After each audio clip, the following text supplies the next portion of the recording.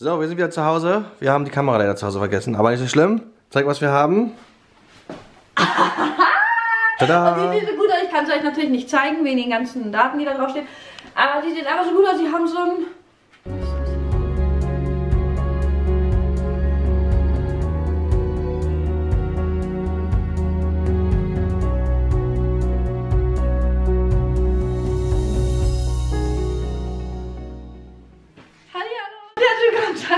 Video von uns. Leute, wir sind hier gerade voll in der Urlaubsplanung und ich sage gerade so, wie doof sind wir. Die Leute interessiert das.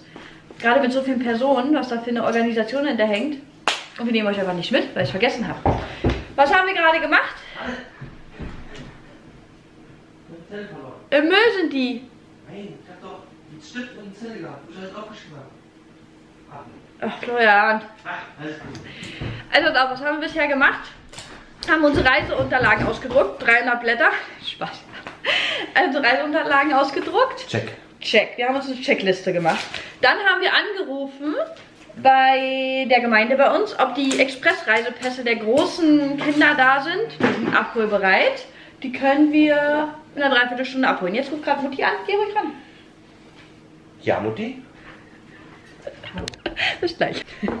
Gespräch beendet. Mutti geht vor. Genau, dann haben wir, wie gesagt, angerufen, Reisepässe, Express-Reisepässe sind Gott sei Dank innerhalb einer Woche fertig geworden. Dürfen wir also in einer Dreiviertelstunde, habe ich glaube ich gerade schon gesagt, abholen. Oh, ist schon wieder kalt, ey. Nageltermin habe ich auch schon vereinbart, ganz wichtig. Nein, das steht da nicht auf der Liste. Was steht da noch drauf? Äh, dass wir die Koffer hochholen müssen und reinigen müssen. Das wollte ich jetzt aber eigentlich erst zum Wochenende machen, heute ist Donnerstag.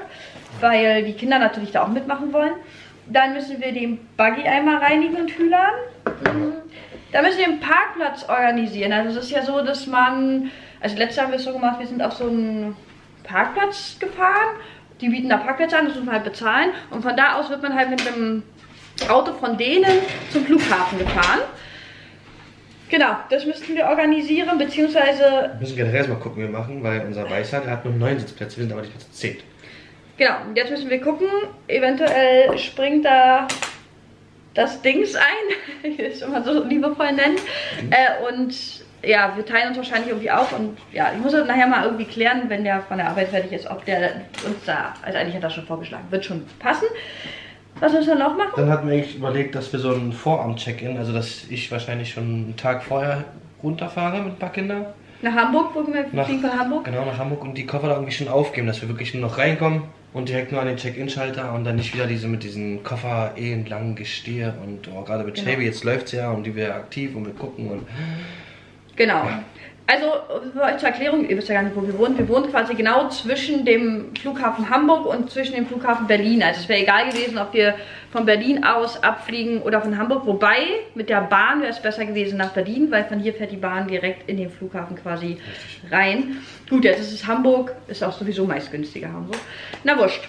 Ähm, genau, das müssen wir organisieren. Dann müssen wir unbedingt Sitzplätze ja, buchen. Diesmal schon. Beim letzten Mal, Leute, haben wir kein, also nicht preislich welche gebucht, aber wir haben halt den Check-in gemacht und dann kriegst du ja auch schon deine Sitzplätze, wo du sitzt und so, ne?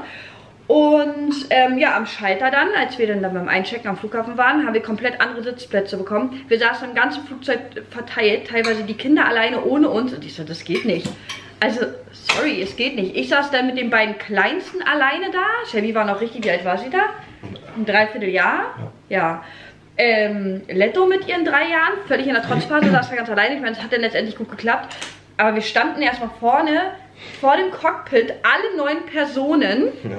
bis die Stewardessen uns da mal Sitze zu, nach zuweisen nach konnten. Und alle Leute haben geguckt. Das war so, das war so peinlich.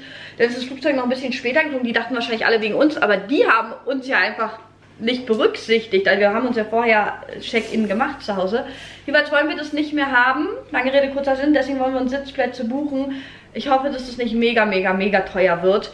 Ähm, aber dass die einfach fest sind und dass wir wissen, okay, wir sitzen alle beieinander. Ähm, und man kann auch mal das, die Shelby zum Beispiel, das Baby, wollte ich gerade sagen, ist kein Baby mehr, mal weiterreichen, dass man auch mal irgendwie kurz die Arme frei hat oder so. Also, dass man sich einfach gegenseitig unterstützen kann. Was auch doof ist eigentlich, denke ich Hätte sie schon Sitzplatz haben können eigentlich. Ab zwei haben die ersten Sitzplatz, glaube ich. Allgemein. Genau, also steht hier noch keiner zu. Ist ja auch in Ordnung, aber so kann man sich einfach, wenn man zusammensitzt, ganz anders unterstützen, als wenn man irgendwie 10, 15 Reihen erstmal laufen muss und sagen, kannst du mal, sag mal, würdest du mal, kannst du mal kurz, ich bring dir mal ein... Das Nachbar, bitte einmal nach hinten gehen. könnte man das Kind Zack, weiterreichen. Das, das geht doch nicht. Oder der eine muss mal auf Toilette oder so. Also das war so blöd ähm, und auch so unangenehm, weil die gucken ja eh schon alle, wenn man mit so vielen Personen reist. Und dann sind wir noch relativ jung, es wird einfach gestarrt, so oder so. Aber wenn du dann noch da in diesem Cockpit da vorne stehst und alle...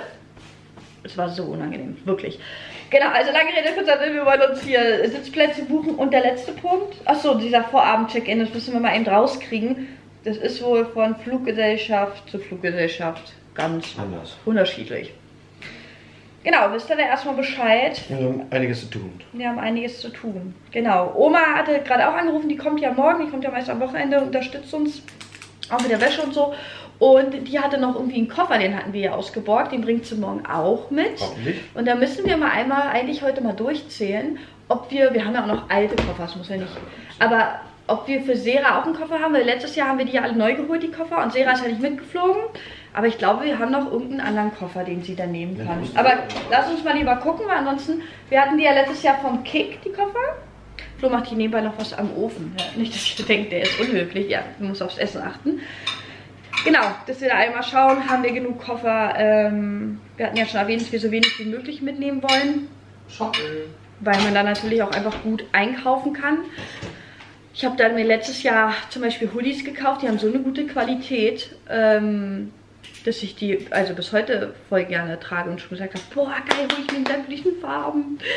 Ähm, ja, ist auch nicht jedermanns Sache. Der eine sagt, nee, ich muss das unbedingt alles original haben. Mir ist das völlig wurscht. Wenn mir der Pulli von der Farbe her gefällt, äh, ist mir das eigentlich egal, was da für eine Marke draufsteht. Aber die, die ich jetzt habe, oder den einen, der noch übrig ist, zwei hat, glaube ich, Sera mir gestohlen. Ähm, der ist echt gut in der Qualität. Achso, wir haben hier so ein, das kannst du ja mal eben ohne Daten irgendwie zeigen. Wir haben hier so einen Ordner gemacht. Nein, ne? Genau, und da sind jetzt... wir haben ja zwei Reisen, ne? Also einmal meine Reise, Veros Das musst du kurz Reise. erklären, wir haben zwei Reisen gebucht. Machen wir immer so, wegen der Personenanzahl. Also ein Erwachsener, vier Kinder, ein Erwachsener, vier Kinder. Genau, deswegen haben wir jetzt zweimal Reiseunterlagen. Ja.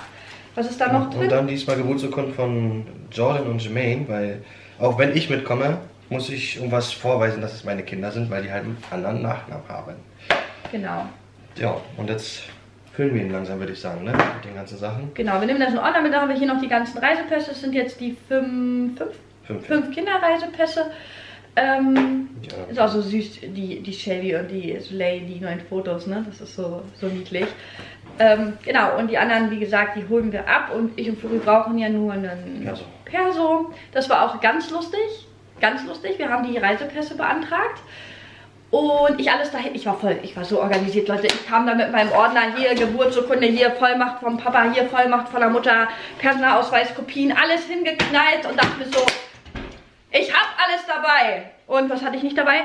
Mein fucking Ausweis war weg. Ich so, wo ist der Ausweis? So ist der Ausweis. Ich, ich habe Herzkammerflattern bekommen. Dann ist uns eingefallen, dass wir irgendwann mal vor, weiß ich nicht, paar Wöcheleins zusammen feiern waren und Flori hatte meinen Ausweis, also wir waren noch mit anderen Leuten feiern, aber Flori war halt auch dabei und hatte meinen Ausweis in seiner Jeans, in seiner, da war so eine Tasche. Und dann sage sag ich so, geh schnell gucken, ob es da ist. Und er sagt, nö, ist nicht da, keine Ahnung. Und ich hatte, ich hatte so Herzkampfflattern. Nach fünf Minuten kommt er an, zeigt mir irgendwie so, was war denn das? Dein Führerschein, der halt auch mit in dieser Tasche war, in der Jeans. Und sagte dann so, guck mal, mein Führerschein ganz komisch hier, guck mal mit der Zahl und so. Und ich sag, du Arsch, Mann, hatte er. Sein Führerschein und mein Ausweis, doch, er hat mich einfach nur verarscht. Dachte ich, das kann doch nicht wahr sein. Ich gehe dahin, beantrag alles für die Kinder, bring alles mit. Das war so ein Stapel an Unterlagen. Und mein Ausweis ist weg.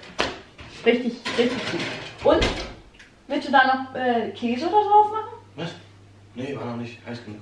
Ich war gestern beim Italiener und habe äh, Flori seine Lieblingsnudeln mitgebracht. Und die, es war halt schon super spät und deswegen macht er sich die jetzt warm. Ne? So, haben wir noch was zu erzählen? Wollen wir mal den Koffer angucken gehen? Wenn ich gestern bin, gehen wir auf den Koffer gucken und dann können wir auch schon wieder los. Ja, wie können wir die Reisepässe holen? Ah, dann nehmen wir euch mit. So, wir sind wieder zu Hause. Wir haben die Kamera leider zu Hause vergessen, aber nicht so schlimm. Zeig, was wir haben. Tada! Die sieht so gut aus. Ich kann es euch natürlich nicht zeigen, wegen den ganzen Daten, die da draufstehen.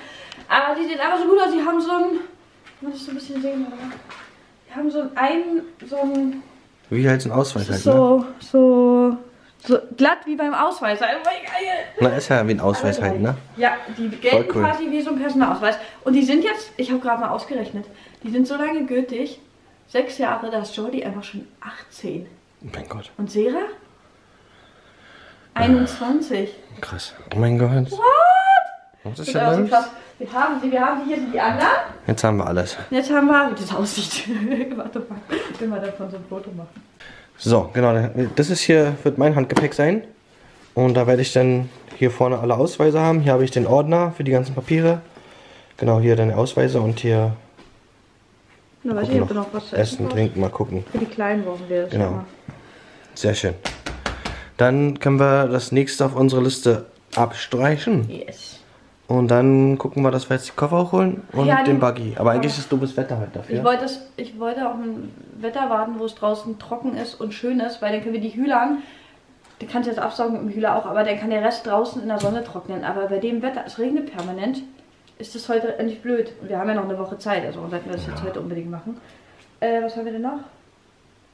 Parkplatz organisieren, das müssen wir jetzt erstmal besprechen, wer wie fährt. Ja, der Schwarze uns gerade Arsch aufmacht. Geht Ja, unser schwarzes Auto qualmt halt irgendwie. Ähm, naja, wird sich nachher angeguckt. Und dann können wir nachher auch klären, wegen Hin- und Rückfahrt, wer uns fährt, wer nicht fährt, ob du fährst, ob ich fahre, ob Dings fährt, ob wir alle fahren, wie auch immer. Dingschat.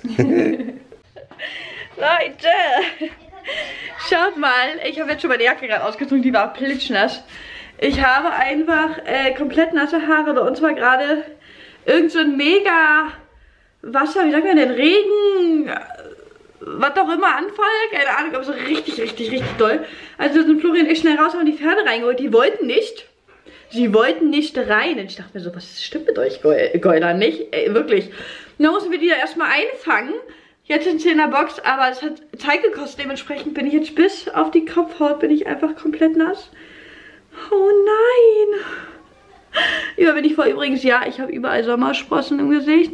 Die habe ich mir da hingemalt und ich habe die blöd verblendet. Jetzt sehe ich aus wie Pippi Langstrumpf. Ich weiß, ich weiß, ich habe auch richtig viele Hate-Nachrichten deswegen bekommen, aber ich weiß nicht, ob die Leute nicht wissen, das ist mein Gesicht. Ihr müsst euch das auch nicht angucken. Ich muss es mir hinter dem Spiegel angucken. Ihr könnt wegschalten. So als kleine Idee, ne?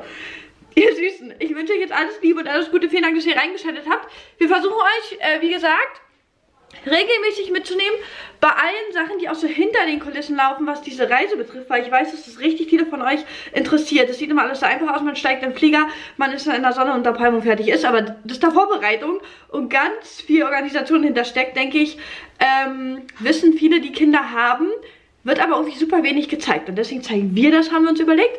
Also bleibt gesund und munter, danke fürs Einschalten, wie gesagt, und dann bis zum nächsten Mal. Ciao! you as you drive. Do you know?